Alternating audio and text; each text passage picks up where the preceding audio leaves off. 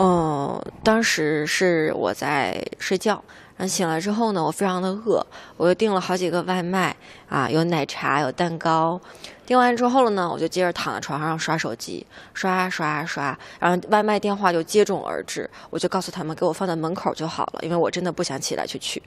我就告诉他们一个一个电话，然后这个在在众多外卖电话之中呢，插播了一个电话，我下意识我就想说：“喂，您好，给我放在门口就好。”然后我刚才话没说完呢。就是就是一个很温柔的女生，然后跟我说：“你好，呃，我是春晚导演组。”就是你能明白我从那个刚才外卖那个非常行活的“喂，你好，给我放门，好好的，谢谢”的那个状态里，嘣，我就起来了。我就说：“啊，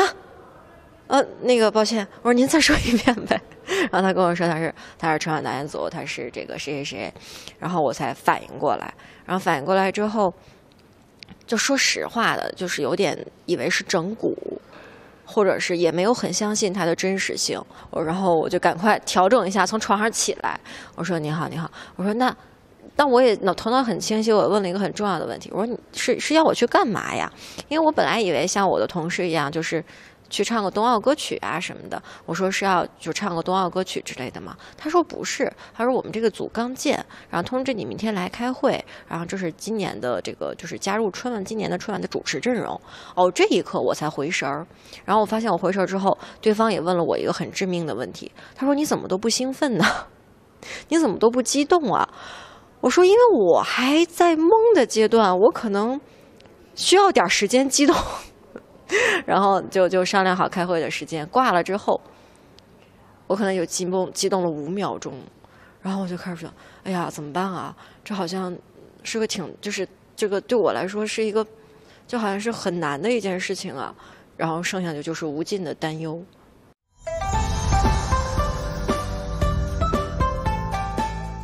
我觉得大家激动的时间可能会比我长。但是我确实是激动了几秒钟之后就开始无尽的担忧，因为它整个的呃形态跟我们平时接触的也不太一样，然后他对主持人的要求肯定是最高规格的要求，就那一刻我就觉得，就是拥抱着我的众多外卖，我在心想，就我就这个样子，嗯，然后我就想说，天哪，我现在开始对自己严加要求还来得及吗？那你当时外卖吃了吗？我我实话实不相瞒，我那天食欲就很不旺盛。就是我足足有三天都是在怎么办？就是很慌的那个懵的阶段里，那三天我不太吃得下去饭，然后还有一点就是就是开始免疫免疫系统开始降低，然后就开始有点发低烧，然后我就开始犯了鼻炎、咽炎、上呼吸道感染，然后足足在我第一次彩排的时候，整个人就是嗓子哑到说不出来话的那种。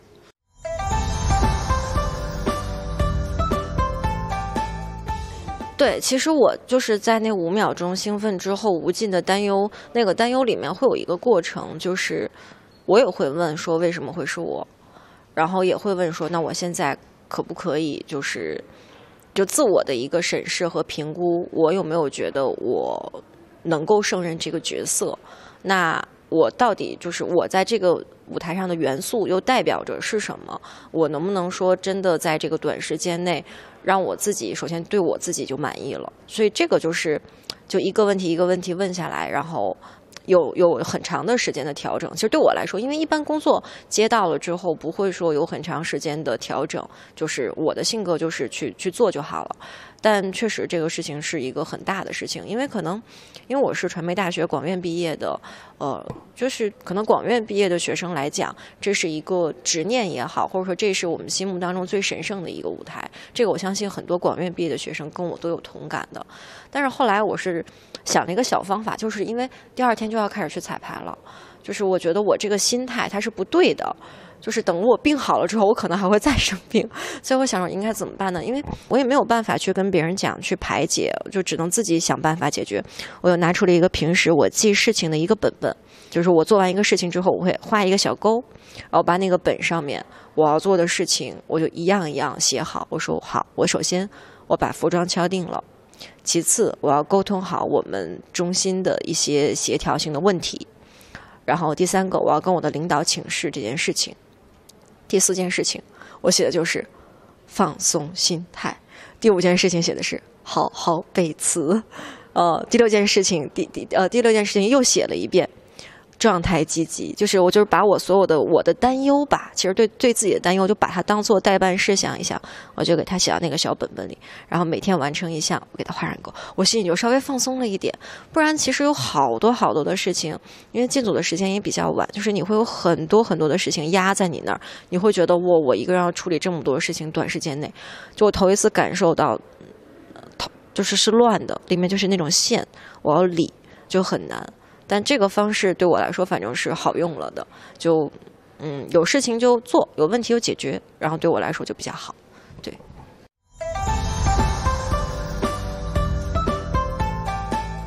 对我来说，就对很多人来说，肯定的第一感受就是紧张的要命。但对我来说，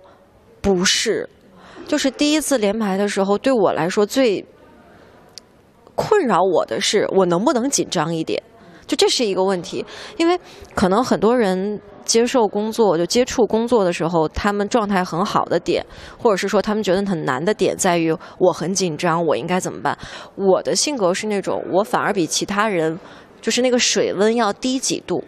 我不是一个很爱紧张的人，就就其实呃私下我可能啊这个车怎么离得这么近啊？他他低喇叭了，就是我是这种人。但是我就是在工作环境里，我是比其他人要冷静很多的那种性格。但问题在这个性格出现在春晚的舞台上是不行的，因为平时我我我们的直播其实是在陈述一件事情，就是我们不会太会有语言上的起伏和波澜，再加上我的水温又比一般人要低。但是那个舞台不是的，那个舞台是你一定要满脸笑容，然后就非常激动，它是一个特别喜庆的一个状态。但连排的时候没有观众，哦，对我很难通过外部来调动我自己，我又只能靠想象。然后我又是一个格外冷静的人，我连我连紧张都没有，所以就第一天出来，就第一天我记得上半场就是其实就几番儿嘛，也就五六番儿，大概五六番儿里。呃，导演说了大概四五番你再积极一点，你再积极一点。然后我就问小尼哥，我说，我觉得我已经到我的程度的，就是我的积极的程度里的天花板了。我说听起来怎样？小尼哥说，我觉得你还可以再积极一点。我就心想，天呐，他已经到我的极值了，我应该怎么办？然后那这是第一天，我就其实是很慌，我就会发现我的状态跟大家是格格不入的。但那已经是我的极致了，那怎么办呢？你第一天被人家讲，你第二天肯定不能让人家担心了呀。他就会在会担心说你能不能转换的好状态。然后我想到了一个好办法，就是我调动我的水温肯定是很难了，因为我就是不紧张，这个没有办法。但是，嗯，我觉得就是好的方式就是模仿，就是我就把之前在我们央视频上找去年的、前年的我们能找到的这些春晚的呃集锦拿出来看。然后慢慢的，它就已经伴变成我的伴随音了。我只要在家里，就是历年春晚的主持人的合集，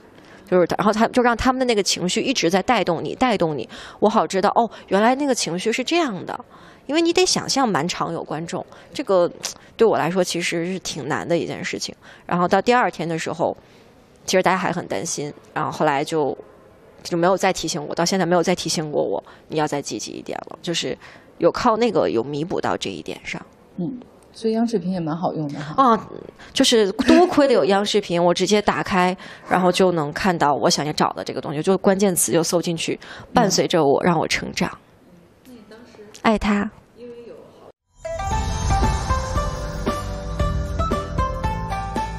有的，因为呃，第一天上半场，然后其实是我跟小尼哥搭的比较多，我就问小尼哥，我说你们平时都怎么调动的？他说其实就是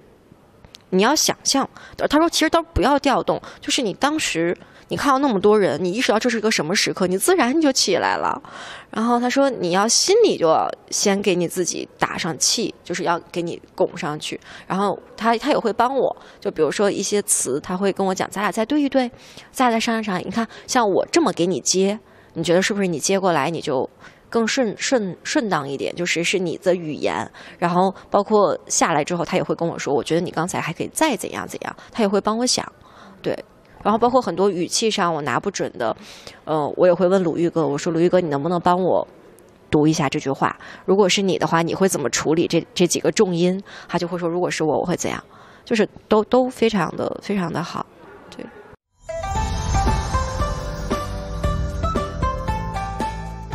不是，因为我记得央视频有一个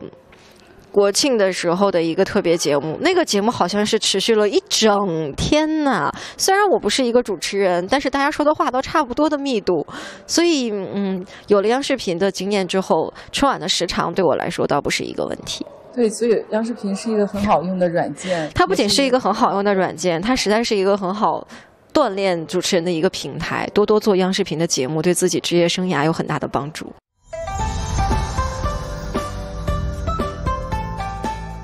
呃，因为其实每一次词都会有很大的改动，嗯，然后包括一些口播啊什么的，就对于我们来说，就是你已经记好的那个词，它第二天就不长你那个样子了，它会改的是一个字，你就要把你脑海当中已经。固定好的那个字给它踢掉，然后换上了这个新的字，还不能打啵儿。对，然后嗯，第二次连排其实对我来说，我觉得是个很重要的时刻吧，因为第一次连排的时候就是在调整，包括妆容、造型、衣服，然后你的状态，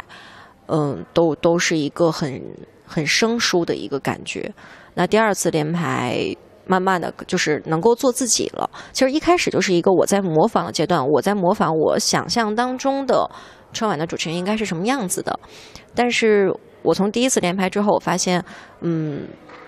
有他那个样子在，但是我还应该有我的样子，所以第二次连排其实有慢慢的做自己，我自己也很舒服一点。然后我也问了呃前辈们、领导们的意见，我说第二次连排，嗯，就是我还需要改进的哪些？大家的意见其实都是会比第一次好很多。对，就是还是大家希望的是能够看到说我在这个舞台上其实更是年轻一代，有年轻一代的样子，有年轻一代的呃有特有的一种。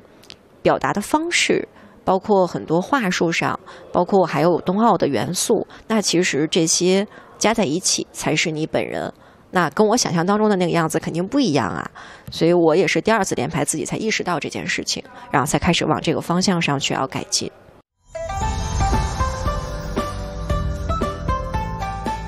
其实，首先第一个肯定是体育元素。冬奥元素，因为今年是冬奥会中国年，所以冬奥是一个对于今年中国老百姓来说非常重要、特别千载难逢的这样的一个奥运的盛事、体育的盛事。它不仅仅是我们中国的，它是全球的。那它跟这次跟中国年碰撞在一起，那其实我作为体育频道的主持人，我是希望大家能够在这个舞台上看到、感受到哦。这不仅仅是春晚，这不仅仅是春节，我们马上要开幕的冬奥会了。其实是作为这样的一个一个元素在里面，所以我也很希望把这种体育的感觉更快、更高、更强、更团结这种奥林匹克格言的感觉，然后带到整个我们的串词里面，把这种嗯理念传达给更多看我们春晚的人，包括把这种东西让大家感受到哦，体育真的是已经走进了我们的生活。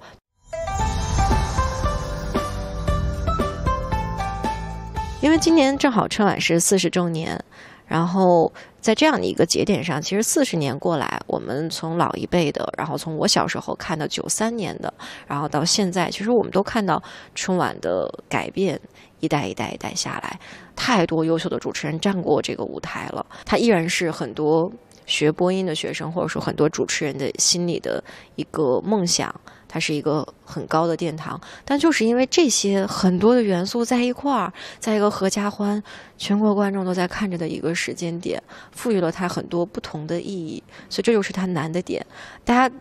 在站上去的时候，他难免会想这些。我是觉得，就是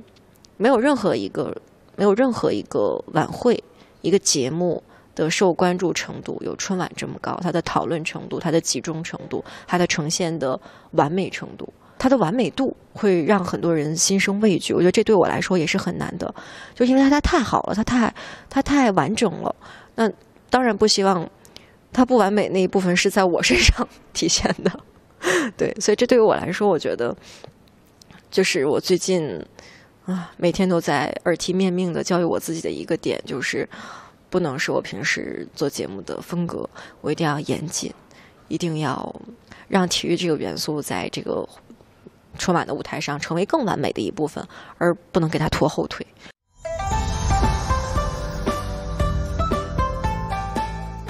很忙碌，很忙碌。对，这一年真的是我入职以来最忙碌的一年。其实就是因为今年又有欧洲杯，又有又有奥运，呃，就是欧洲杯、夏奥会、全运会，其实对于我们来说是很难的。对，就是密集的赛事，然后所以大家都要投入其中。那这个中间，然后还有很多，其实我们央视频的节目，然后也很感谢央视频，这个是真心话，因为就是参加很多央视频的节目，然后大家会发现你不同的点，大家会发现哦，那你还有这一面的话，那我们是不是？这个节目也可以尝试着融入这样的元素。对于我来说，其实央视频的节目，包括其他的节目，我忙碌我忙碌本频道的工作之外的其他的很多，是对我来说是一种拓展。就是在离开校门之后，你肯定是深耕于一个领域的。那在这个领域垂久了，你很想知道，就是自己是不是其他的事情也可以做得不错。那其实央视频就是给我开了这么一个窗。我每次来玩的时候，我都很开心，就是我是抱着一种就是我很开心的态度来工作的。对，工作当时要保，当然工作是要保证它的专业度，但是那个心态是不一是非常愉快的。这一年对我来说，就是因为有很多很多像央视频，呃这样的工作机会，填充了我这一年满满当当的时间，会让我觉得我这一年我的成长是最快速的，所以是最忙碌的一年，但是是进步最大的一年。对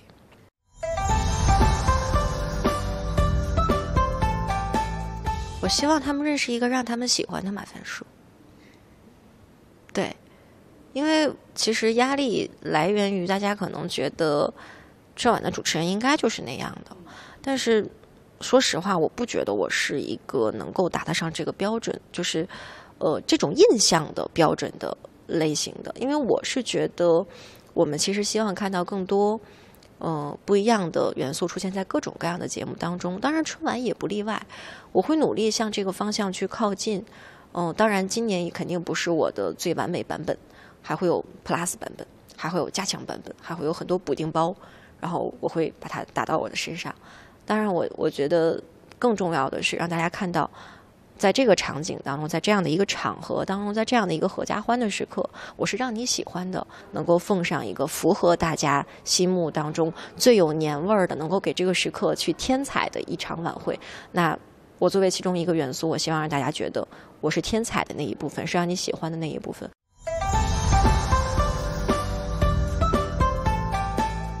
我希望它是精彩有趣的。嗯，有趣更重要，那就换一下方式，那就是希望它这一年是有趣的。嗯，对，因为其实对我来说，嗯，本来我的工作就是我最喜欢干的事情，嗯，我还希望在我喜欢干的领域里有更多有趣的事情。对，因为大家真的要去体验一下有趣的工作到底有多么快乐。对，很多有趣的工作，因为我今年就比较，比如说我会有做很多设想，我会觉得是不是我们奥运会的时候，我可以做一些有趣的节目，然后，然后比如说，你看我们做完央夏了，我们央视频出品的央夏，然后冬日暖洋洋，央夏央冬，是不是今年可能央视频还要推出央春？央秋是不是央视频还可以推一些好玩的慢综艺，或是说很多有意思的综艺？所以我觉得今年央视频如果有很多有意思的综艺，千万不要放过我好吗？谢谢。我们一定通知你。对，好玩要有趣。